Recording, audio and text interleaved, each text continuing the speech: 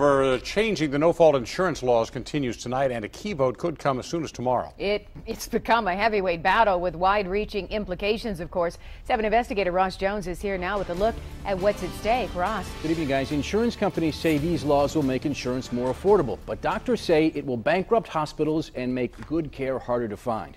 Regardless of who you talk to tonight, this much is clear. Michigan's no-fault laws are on the fast track for big changes that will affect everyone. Special interests have been at war for weeks in Lansing, with the insurance and hospital industries duking it out over who has to pay what when we get hurt. And this is what they're fighting about. If you get into a car accident in Michigan, your insurance is supposed to cover claims up to $545,000. Anything above that is paid out of the Catastrophic Claims Fund. Each of us pays into that, $184 per year that's taken out of our premiums. There's no public cry for reform public was satisfied with the no-fault insurance program that existed for the last 40 years. But auto insurers aren't pleased with how the system works. They say no fault is unfair to them because under state law, they're required to pay more for medical benefits than Medicare or workman's compensation, and that's hurting their business. And our industry, actually, for auto in Michigan, has lost money over the last five years. Our last profitable year was 2007. Pete Kuhnmuench is the executive director of the Insurance Institute of Michigan.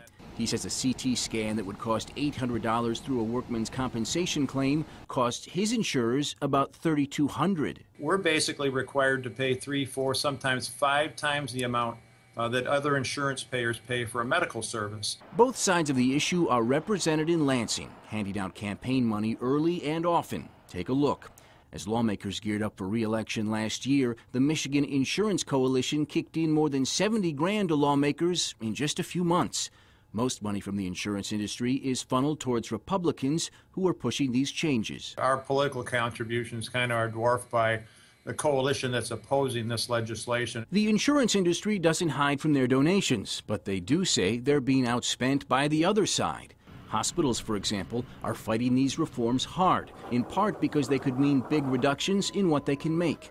They say that if the cuts go too deep, some hospitals will close. Providers that end up caring for people that get the most severe injuries, like brain injuries and spinal cord injuries, um, as it's current, currently written, um, the reimbursement would be drastically cut at that level of care. And the hospital lobby is well represented in Lansing. Democrats have made out nicely thanks to donations from them, trial lawyers, and others.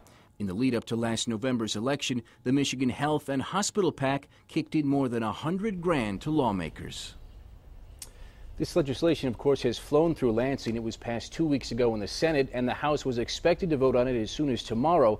But because of some enormous pushback from prominent Republicans like L. Brooks Patterson and others, everything has slowed down, and a vote tomorrow looks less likely. Either way, we'll be in Lansing tomorrow. You wonder why the urgency.